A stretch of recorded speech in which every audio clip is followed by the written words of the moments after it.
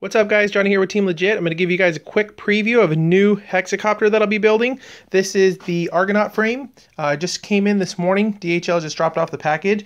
Really cool features on this thing is uh, you've got the integrated ESCs already in here and they're pre-flashed with Simon K or BL Heli, however you uh, order them. You've got the little mount right here for your little uh, FPV camera.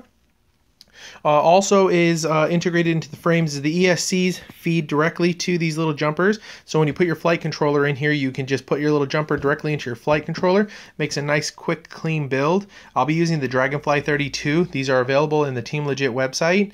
Uh, you can go ahead and order the acro or the full modes. I'm not sure which one. I'll probably put the uh, full in here and disable all the functions until the firmware gets a little better and I can add a GPS later on down the line. Uh, a couple other really cool features to this frame. It's got what looks like 4 millimeter arms here. These things are really, really heavy duty, really, really durable uh, arms. They seem to be full carbon fiber. Um, I haven't actually tested them out just yet, but uh, from the looks of it, they look like they're full carbon fiber. We've got up front a little camera pod. Uh, also, the top plate uh, attaches right on top. You've got the little camera, HD camera plate here with the vibration dampening balls.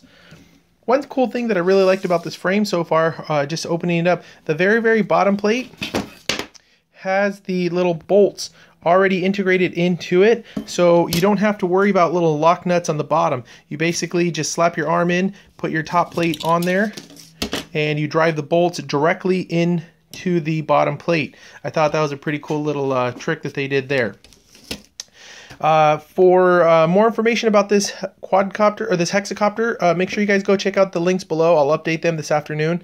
And um, for uh, a more in-depth review, don't forget to click the subscribe button so you don't miss out on any updated videos.